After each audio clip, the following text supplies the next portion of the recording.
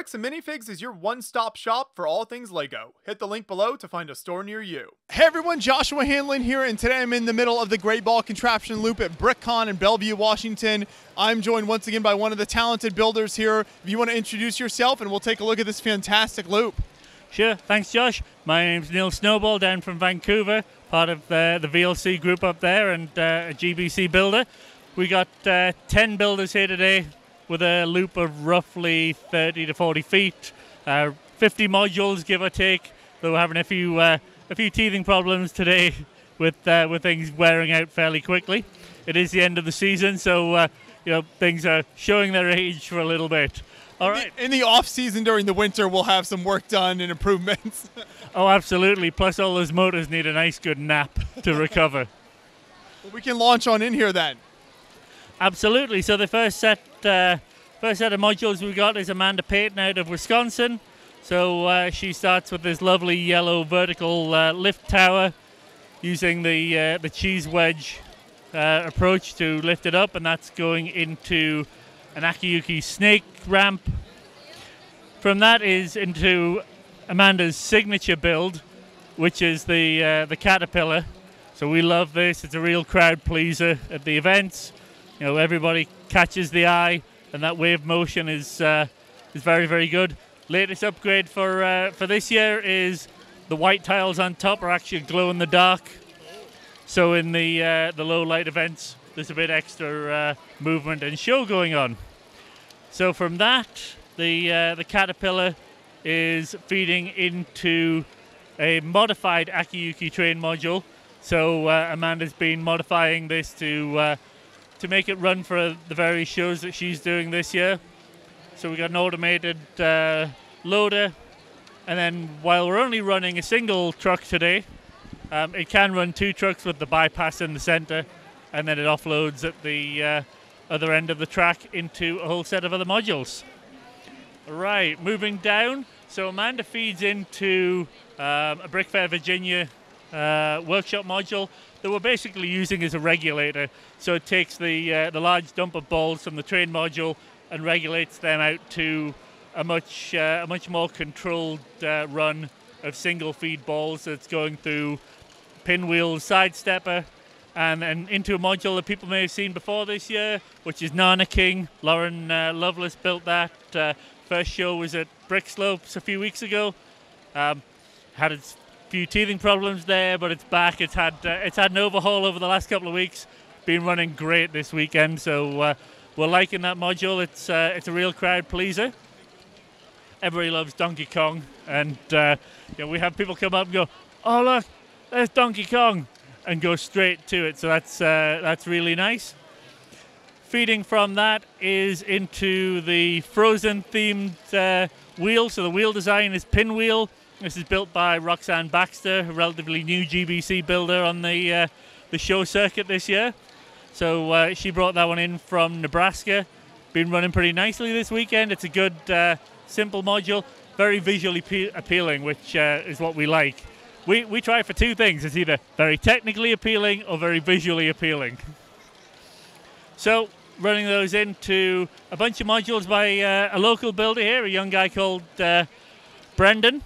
So he's uh, it's his second year. First year was uh, here last year, and uh, he's had some time over the winter to uh, to build some new modules and get them going. So uh, we're glad to have him. It's always good to have new uh, and young talent in the GBC pool because these are our builders of tomorrow for when the rest of us decide to retire.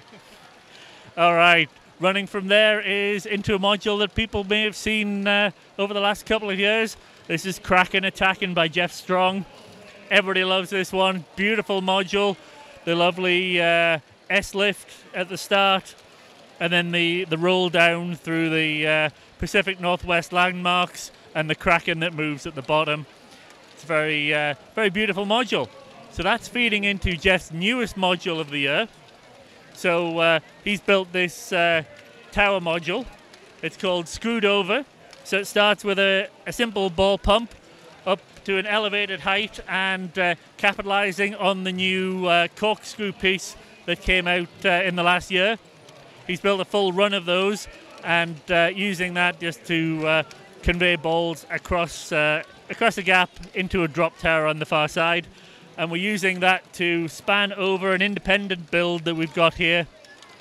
This is uh, one of the, the local guys, Steve Putz, who's built this. It was at uh, Bricks Cascade uh, at the start of the year, and so it likes to uh, likes to run in uh, self-circulation mode, and so it's just been running non-stop all uh, all day, circulating around. It's a little different because this runs on Mindstorms compared to the train controllers and motors that uh, the rest of us are on. But uh, yeah, it, and it fits nicely in the negative space from John's screwed over build. I love this here because it doesn't look like the balls should be able to stay on there. It seems like they'll fall off, but it just it moves them along perfectly along, along the top of the bridge. Oh, absolutely! This corkscrew is a magical piece. It's uh, it's nice to see the the way that people are invest inventing ways to uh, to make it work for them in GBC, and so that's been uh, that's been a good thing. We're going to give this a quick stir. There we go. It's run by a ball pump, and as we all know, ball pumps are some of the finickiest modules you can get. They look great. They run perfectly fine for a while, and then this one, every so often, we just need to stab it with uh, with a poker, and it comes back to life. We don't know why why that is, but uh, it is what it is. We'll have to live with it. All right. So Jeff is feeding into a string of modules by myself. So there's a variety of these. You've probably seen a bunch of them. First off is uh, what I call Workshop Wonderland. So it's versions from various workshops. We got Bricks by the Bay. Then we got an extended uh, Brick World uh, module. Then we've got a couple of Brick Slopes. So Brick Slopes 2021, 2022. Brick Slopes 2023 is currently sitting off the table, um, being badly behaved. We got another Brick World module sitting there at the end, and that is feeding into. At this point, it's probably now my signature build, which is the Leap of Faith. So it's a, a four foot drop tower no guy lines on it. It just stands perfectly upright and uh, drops balls into the catch net. So the catch net working great now. So some of you may have seen it on uh, on other videos that uh, that it wasn't working quite as well. It would leak balls all over. So uh, over the summer, I rebuilt the catch net, knitted it all together with uh, with nets, and it uh, it works great now. So that's feeding into a run along the front. We've got uh, Emmett's crane, so it's uh, another pinwheel module with a few variations by myself. Another one that kids love because everybody loves Emmett, and uh, and so that draws kids in to see Emmett. Feeding into that is what we discussed last time: the Barbie module, or the the pink pusher. Very uh, very good module. It's been uh, been great, just cranking away uh, all day. And uh, that then feeds into the carrot patch, one of my uh, earlier modules that has evolved over time to uh, to get to where it is. So it's a simple stepper and conveyor, but it's all themed to do with carrots. Mainly because I went to the pick a brick wall and picked up way too many carrots and thought, what do I do with these? and somehow a carrot-based GBC is what uh, what came out of that. After that is my 2023 module. It is Slapshot. Being a Canadian, I'm a big hockey fan, so this is a tribute to hockey, also a tribute to Lego sports sets of the early 2000s. It's nice to get some of those uh, weird and wonderful pieces in there. Very underrepresented theme from the some of those early sports themes. It is, but GBC builders love those weird and wacky pieces. We've all got the uh, the half pipe slopes and the uh, the skateboard ramps. This is just another fa- facet of it that uh, we can put to use for GBC. Okay, so feeding into that is another pinwheel sidestepper. Love, I love these little modules because they work really well on corners. They're just a quick filler and they uh, they do the job. From that, it feeds into the horrendously coloured, uh, what I call lift tower. So it's an internal lift. So it uh, scoops up at the bottom. It's as uh, almost as low a, a pickup point as you can get. Pulls them up the side walls and then out the side ramp. So this thing is also a recirculating module and it runs both directions. So it doesn't matter which way we plug it in. It's always useful. So that's sitting into the corner section where we've got Rainbow Stepper, rainbow stepper feeding into my triple lifter, which is my three-arm lift module. That's dropping off into what is currently dropping on into a piece of racer ramp because the previous incumbent in that spot is dead on the table behind us. It's had a bad day. Um, so that's running into the front where we've got a bunch of brick Brickworld tipper modules and uh, pusher modules. But what you might notice here is there seems to be something in the way. Something that I have turned the green monster. Uh, I'm also a bit of a baseball fan. so uh, the builder is not from Boston. I don't think they like baseball, but it's big and it's green. So this is a scaled up version, although it's not currently running. It's a scaled up version of a little module that we've got at the front here, which also isn't running but it's a kind of a proof of concept. So it uses the large Technic balls to uh, to get it, but it has a, a te- oh well the way, it has a tendency to overheat the motor, so we need to uh, to give it a rest every so often. Keep going. There we go. We got it running. So it's a lovely little standalone piece. I have asked Rick that now that he's grown this one up to uh, this sizes, when are we getting the scaled up train controller to go with it? This thing is just an absolute beast here. You look at the number of Technic elements in these two giant wheels. It's crazy. And the, I love the, the brick bending going on here as well. Yeah, this is this is flexing to another another degree. You see people flexing with their goats and things like that, but this is this is Technic GBC flexing at uh, at its best. Where do these the the bigger uh, red and blue balls come from? So those are um, Technic balls. You may have seen them if people have watched anything from Lego Masters New Zealand. They did a GBC style theme, uh, something that Robin Sather, who was the, the brickmaster there and is in the room uh, with us today, he came up with that for uh, for Lego Masters New Zealand and similar ball size. We've got those in uh, in play today. I don't think we're all going to adopt this standard. it seems a little brick intensive, but it is a really nice showpiece nonetheless. So moving on from there, we go from a pusher upper that's currently being loaded up and is struggling. I got throw a bunch of balls on the white ramp, guys. A little bit of work being done here. Yep. Okay, so that goes into uh, the perennial favorite, Alex Papil's glittering wheel. So it's a self-standing wheel. It's uh, it's been many a show. We we love it here in the Pacific Northwest. There's something uh, quite exciting about watching it go, and uh, and lift those balls. And then that's going into uh, a module that Alex has also brought, which is a a three seesaw module.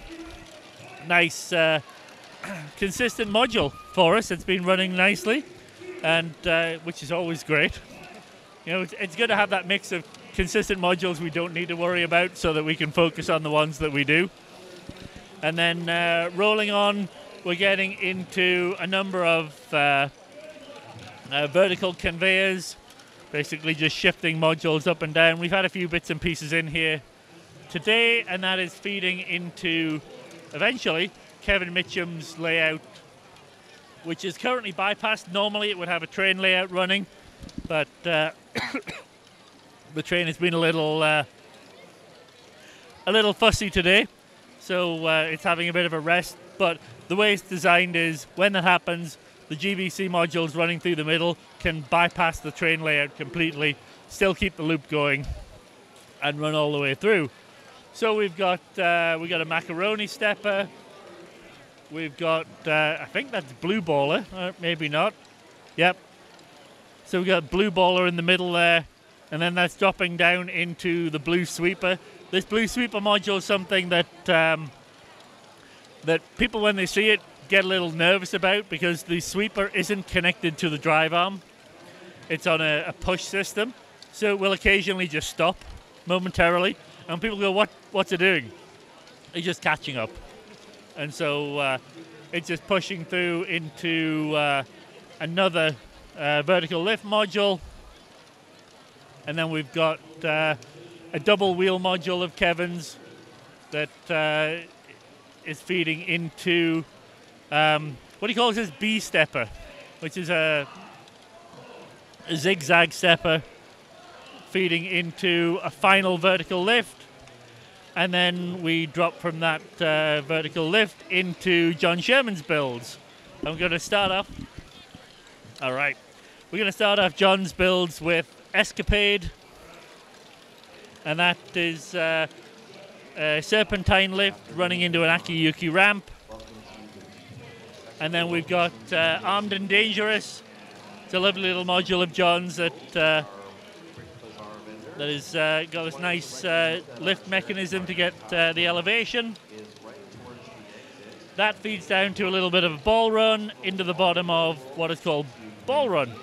So that lifts it up. It's got a splitter module at the top, and so as the balls come up, they go one of two ways, and then down the flex tube ramp out to the bottom. Popular module, this one. There's a lot going on. It's uh, visually uh, appealing to people. So we find people stop here a little bit to uh, to watch them go through the loop. So when we exit that, that's going into Rat Stamper XL. So this is the slower double capacity Rat Stamper module that uh, that John has built. It's a, a, nice pick mechanism. So it's running there, doing a, a double pick each time, and feeding into his uh, vertical stepper module. Again, you'll notice with John's all very beautifully, uh, beautifully coloured. The colour schemes really stand out, uh, but show the the mechanisms as well, which is what we'd expect from uh, an engineer that works here at Boeing. So that exits into a spiral ramp, and then the spiral ramp feeds into the original size rat stamper. So this is a single pick module. You'll notice it's a lot more energetic than the previous one, but uh, it's running at pretty much twice the speed, so it's still got the same uh, overall throughput. And then once we go from there, we're into the Shermanized ball counter. So this is uh, at least version two of John's ball counter had a complete overhaul over the win- over the summer, ready for this show. And uh, there we go. We got a little bit of uh, unload happening on the counter. So yeah, John's completely rebuilt it, improved some of the gate mechanisms on the cutoff so that it'll run smoothly, and uh, it seems to have been fine all day so far. And then the final thing after that, when it counts up, I don't know what we're on. Looks like we're in somewhere in the 3,000, 3,500 ball range so far today and then that's feeding into the macaroni stepper that again has had a bit of an overhaul. The uh, the drive piece down the middle that you see there has been flipped over. So rather than having a flat uh, a flat push against the, the vertical lift, it's now got a curve, lifted a little nicer. It's a, a lot uh, a lot more forgiving on the motor, that's for sure. So it's run much better, and then that is feeding out into the overpass which is uh, John's entry gateway. It's a, it's a nice size myself at six foot five. I can get under it no problem, so I don't have to duck. That's my always my problem with uh, over over the top modules is uh, are they big enough for me to get under? And then from there, runs across. It's got a vertical drop, and then it's going out into the start point, which was Amanda's modules. Fantastic work here. So, so how many people did you say were involved this year? We've got 10 people. We had 50 modules when we set it up and start turning it on this morning. We're probably somewhere plus or minus two or three from that number. But uh, yeah, it's been uh, it's been good. We've got a, a good mix of people that uh, have come in, not just locally, but as I say, we've people come from uh, Wisconsin, Nebraska. I've come down from Canada, so it's uh, GBC in the Pacific Northwest has, has become a nice uh, meeting point for a number of folks to uh, to uh, to meet at and uh, put our shows together. It's, it's been really cool to see it grow, especially in this part of the country, because traditionally this wasn't where you had very big GBC layouts. But it's been cool to see more people get involved here. Absolutely, we have the the benefit of uh, three major shows on the Pacific uh, Northwest every year, and so some of us are at each of those shows we get to know each other. We get to uh, we get to know how each of our modules work, where they fail, where they don't, and the the reliability of it. So that consistency helps us put on good shows as well. That uh, we've got a, a, good core group of people that uh, can help with that. So we only want to get bigger and better. So we we encourage anybody who uh, who really wants to get into it is uh, come check us out. Maybe do an internship with a, a show.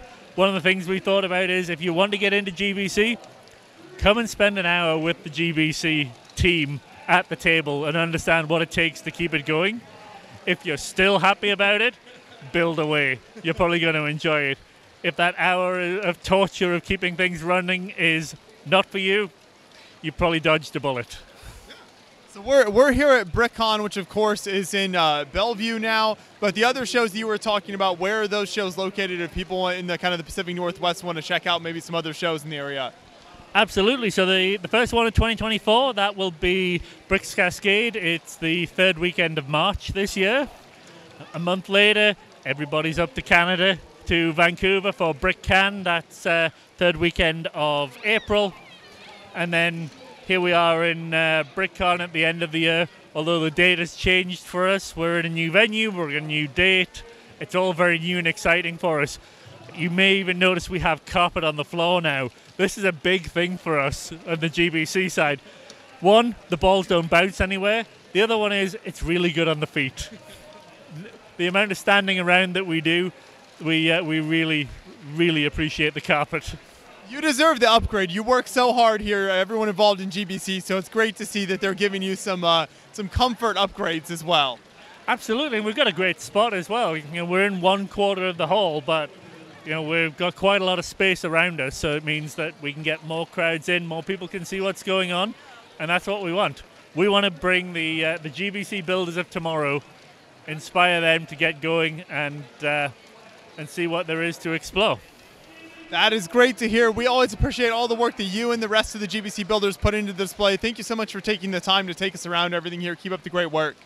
Thank you very much. It's great to be here. Good to see you guys, and obviously for myself, I want to thank all of the other GBC builders for uh, for coming here and helping out. It's uh, it's very much a team effort, and uh, we all appreciate each other helping out.